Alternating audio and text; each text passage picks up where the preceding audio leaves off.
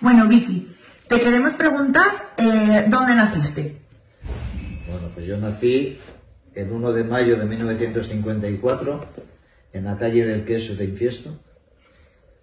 O sea que soy queserín, por así decirlo. ¿Entiendes? Y después toda la vida viví en Infiesto. O sea que para mí la cosa llegué de, casi entre Triana y entre Triana y Infiesto. Ahí vive la calle del Queso. Bueno, y tu vida laboral, muchas personas del Consejo eh, ya la conocemos porque estuvo eh, arraigada eh, a la Caja Rural. Eh, cuéntanos cómo fue esos 45 años de trabajo en la Caja Rural. Bueno, pues el 10 de marzo del 71, con 16 años, ya me llamaron para que se quería entrar en la caja rural. Yo les dije que sí, entonces desde ahí prácticamente pues empecé mi vida laboral ahí.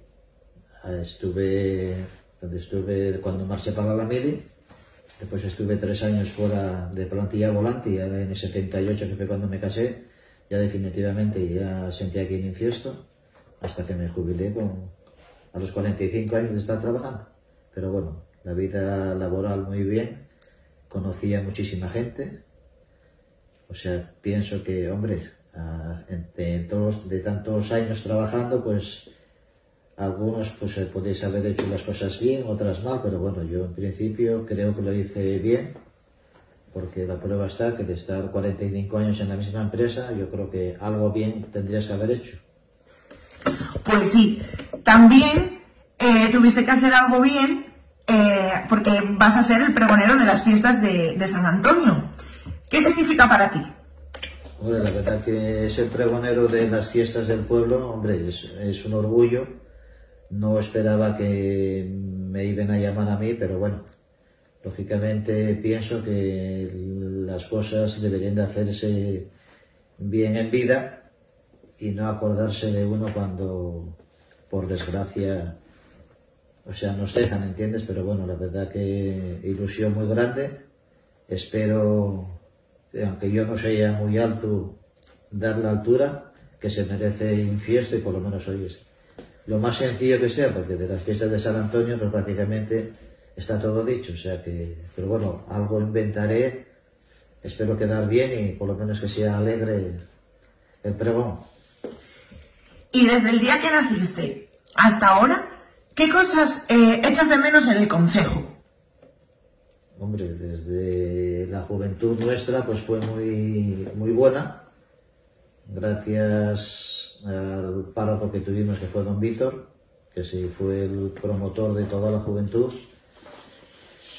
Y ahí pues prácticamente pues bueno, pues cosas que se hicimos, muchísimas, cosas que la juventud hoy no hace, porque es que ahora lo de ellos y todas las maquinitas, los móviles y eso, y falta, falta que tengan esa afición, esa cosa de, de juntarse, por ejemplo, 10 amigos echar un partido de fútbol, coger, ir, como íbamos muchas veces con la merienda, ir de paseo, aunque sea ahora mismamente a la, al jardín, o sea, al paseo mágico ese, o a la, como digo yo, a la pelidiella, ir paseando y, ¿entiendes? Pero es que ahora los críos, no sé. Bueno, y otra, y otra época, nosotros vivimos la nuestra, y no me arrepiento de haber vivido aquella, aquella época y, eso sí, me duele porque la época que yo viví, los nietos míos, o sea, no la viven.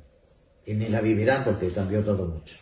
Ya sabes que Piloñas Tour nos dedicamos a promocionar el Consejo de Piloña. Eh, ¿Qué propones tú a todos los turistas y a toda la gente que, que va a ver este vídeo eh, para que venga este consejo? ¿Cómo los animarías a que vinieran a gastar en las tiendas, a, los bares?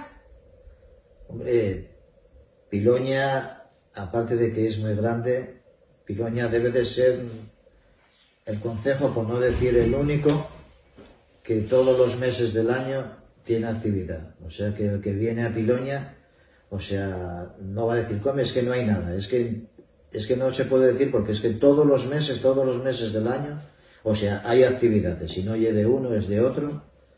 Si no oye las fiestas, si no son marchas de Vizcares, marchas de bicicletas. Ahora este mes de junio hay enduro de motos.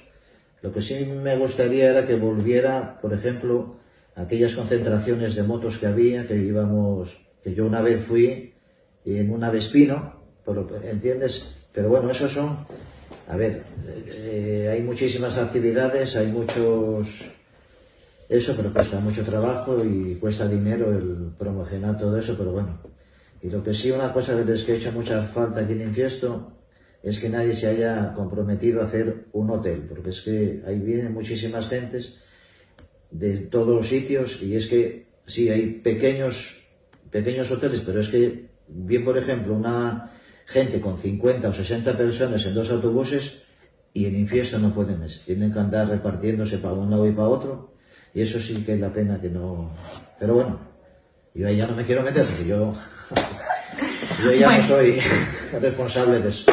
Bueno, Vicky, pues de parte de todo el equipo de Piluñas Tour, te queremos dar las gracias por colaborar en todo lo que se te propone, por tener eh, siempre un sí y estar siempre eh, con esa sonrisa permanente. Así que enhorabuena por ser el pregonero de San Antonio fijo que lo vas a hacer muy bien. Vale, pues muchas gracias aquí me tenéis para lo que necesitéis.